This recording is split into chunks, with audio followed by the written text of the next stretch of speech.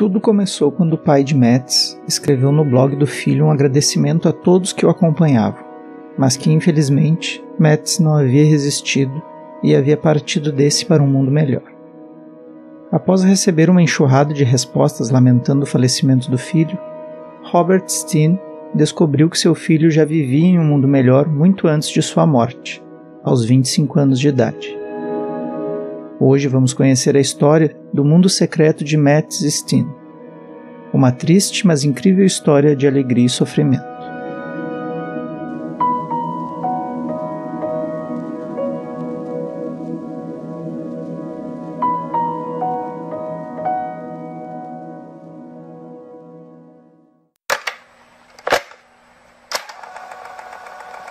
Olá, meu nome é Guilherme Galvão e esse é mais um episódio do Funil de Histórias.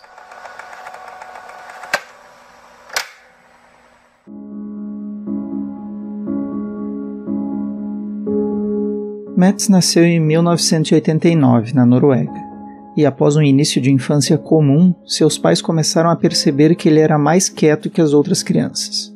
Preferia ficar sentado em um canto brincando do que correr por aí com os amigos. Em uma época em que brincar na rua era o passatempo preferido da maioria das crianças, preferir ficar quieto dentro de casa acabava sendo um comportamento um pouco estranho na visão de seus pais. Metz até tentou brincar algumas vezes, mas a quantidade de vezes em que caía e se machucava era tão incomum que ele, mesmo sendo uma criança, percebeu que era melhor não insistir com essas brincadeiras.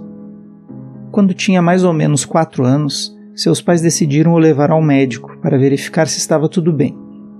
Mas as notícias não foram nada boas. Matt sofria de uma doença chamada distrofia muscular de Duchenne, uma rara degeneração muscular que acomete meninos recém-nascidos. É uma forma de doença muscular que surge pela incapacidade do organismo em produzir uma proteína fundamental para o funcionamento do músculo, o que leva a uma perda das fibras musculares. Desse modo, estava explicado a predileção de Metz por ficar em casa sentado. Mas isso ainda não era tudo. Quando chegasse aos sete ou oito anos, Metz estaria em uma cadeira de rodas. E a expectativa de vida para os portadores dessa condição era aproximadamente 20 anos. Infelizmente, após confirmada essa condição, os pais de Metz perceberam que seu filho não poderia viver uma vida considerada comum, como a maioria das outras crianças então decidiram inserir Metz no mundo virtual dos jogos online. Durante anos, Metz viveu sentado na frente de um computador noites adentro. Seus pais sempre passavam pelo quarto do filho e o viam ali, sentado em frente ao computador, com as cortinas fechadas e sentiam uma profunda tristeza. Viam em seu filho a imagem de um jovem infeliz que não podia sair para apreciar a vida que estava imerso em um mundo virtual e mergulhado na tristeza e na solidão de suas limitações. Mas seus pais não podiam estar mais enganados. Foi aos 11 anos que Metz descobriu que, apesar de não poder viver como as outras crianças, um mundo totalmente novo se abria diante dele, quando ele abriu um jogo de computador pela primeira vez. Dentro dos jogos, ele podia escolher quem queria ser. Podia correr, pular e até mesmo voar. Finalmente ele poderia fazer o que o seu corpo não permitia que fizesse no mundo real. Aquele mundo chato em que ele era diferente de todos.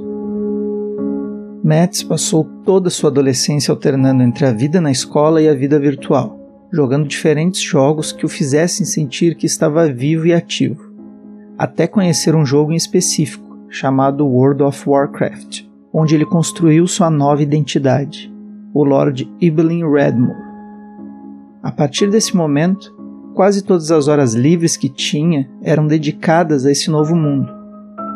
Como World of Warcraft é um jogo de mundo aberto, ou seja, você pode passar horas explorando os mapas do jogo e conhecendo novos lugares, ele passou a viver naquele novo mundo. Metz acabou cultivando muitas amizades dentro desse mundo virtual e costumava escrever em seu blog sobre as relações que construía dentro de seu mundo secreto. Em um desses posts, intitulado Amor, Metz escreve sobre o encontro e o relacionamento com uma menina que jogava com ele. Abre aspas. Neste outro mundo, uma garota não veria uma cadeira de rodas ou qualquer coisa diferente. Ela veria minha alma, coração e mente, convenientemente colocados em um corpo forte e bonito.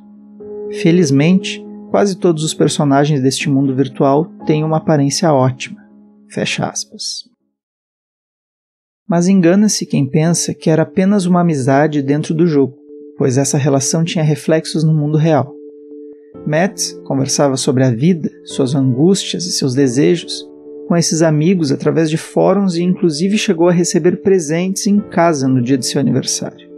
Aparentemente, todos que conheciam Lord Evelyn Redmore também conheciam Matt Steen e o respeitavam muito. Metz utilizava seu personagem para expressar sua personalidade em um mundo onde ele não precisava estar limitado à sua condição física. É claro que isso não era o suficiente para deixar a angústia de viver em uma cadeira de rodas de lado, mas era um alívio para sua condição e uma motivação para seguir em frente, como ele mesmo escreveu uma vez em seu blog. Abre aspas. Passo a maior parte da minha vida num lugar chamado Azeroth. Lá minha deficiência não importa Estou livre das amarras e posso ser quem eu quiser. Lá me sinto normal, mas há momentos em que só quero desabar e chorar. Mas assim como Lord Ibelin, eu sempre consigo me erguer de novo. Fecha aspas. Aos poucos, seus amigos começaram a ficar sabendo de sua condição e começaram a entender melhor quem era Lord Ibelin Redmore, ou Matt, pois isso já não importava mais. Um dia, Mets ficou dez dias sem aparecer no jogo e todos ficaram preocupados. Quando reapareceu, ele contou que havia ficado internado, que havia piorado e em sua idade ele já havia passado da expectativa de vida para pessoas com a sua condição. Então um amigo o aconselhou que de alguma forma ele deveria deixar a possibilidade de que alguém entrasse em contato com a comunidade do jogo caso acontecesse alguma coisa com ele, para que todos seus amigos ficassem sabendo pois ele era uma pessoa muito importante para eles. Seis meses após essa mensagem, Metz foi internado outra vez. Agora em estado grave, não conseguiu resistir. Metz havia seguido o conselho do amigo e deixado a senha de seu blog para seu pai. No dia seguinte, em 19 de novembro de 2014, seu pai fez uma postagem para avisar os amigos virtuais do que tinha acontecido e deixou seu e-mail pessoal para o caso de alguém querer entrar em contato. Foi quando Robert conheceu o mundo secreto de Metz, aquele mundo virtual que se fundia ao mundo real.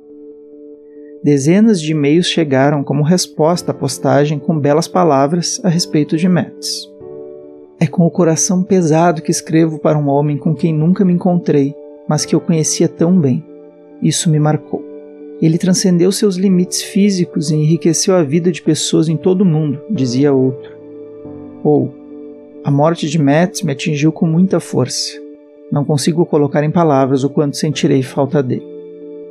Os membros da comunidade que o conheciam, em sua maior parte vivendo fora da Noruega, resolveram juntar dinheiro para dar a última despedida a Metz, ou seria Lord Ibelin Redmore. Em seu funeral, muitas pessoas que jogavam com ele apareceram e tornaram o mundo secreto de Metz real pela última vez. Kai Simon, amigo que Metz conheceu no jogo, disse as seguintes palavras em seu funeral. Aspas, Enquanto estamos reunidos aqui hoje, uma vela está sendo acesa por Metz em uma sala de aula na Holanda. Uma vela queima em um call center na Irlanda. Em uma biblioteca na Suécia há uma vela acesa. Ele é lembrado em um pequeno salão de beleza na Finlândia, em uma secretaria municipal na Dinamarca, em muitos lugares na Inglaterra. Por toda a Europa, Metz é lembrado por muita gente, mais do que tiveram a oportunidade de vir aqui hoje. Eu conheci Metz em um mundo onde não importa nem um pouco quem você é, que tipo de corpo você tem, ou como você se parece na realidade, atrás do teclado. Lá, o que importa é quem você escolhe ser e como você se comporta em relação aos outros. O que importa é o que se encontra aqui e aqui. Fecha aspas, apontando para sua cabeça e para seu peito. Todo ano, na data de sua morte, é feita uma homenagem a Matt Steen dentro do jogo que o proporcionou a vida que ele nunca teve fora do mundo virtual.